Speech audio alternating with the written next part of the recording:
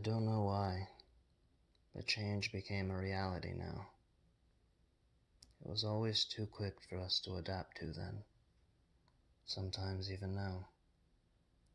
The people around me were changing as I donned a black tux and made my way into a large room I'd never seen before.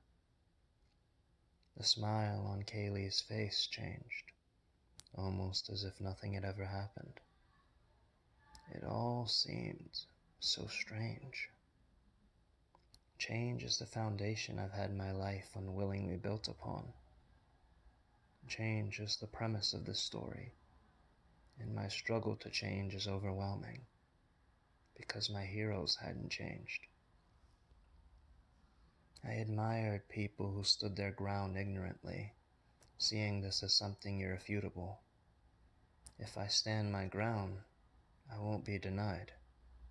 I won't have to change. I'll always be a coward. Never make a difference. Never see that nothing in life is completely without change. We graduated into elementary, where I was a year behind because of how my birthday fell, my mother's coddling, or a lack of attentiveness. Still, I. Wow. The sky was. The voices of everyone around me faded away as I got lost in the sky and we spoke to one another. My old friend from lives past, asking me to soar through it like I used to. Time flows differently for everyone.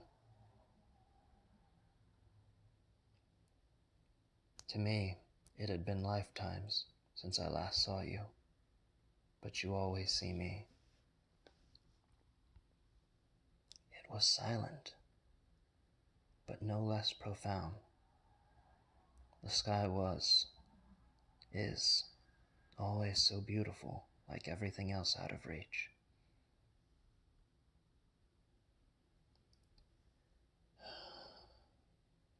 I wonder, does that mean it follows the same rules? If I change some decisions, take actions with few regrets, Will I be able to reach out and grab it? Touch it like all the realities turned fantasy in my life? Could I be different?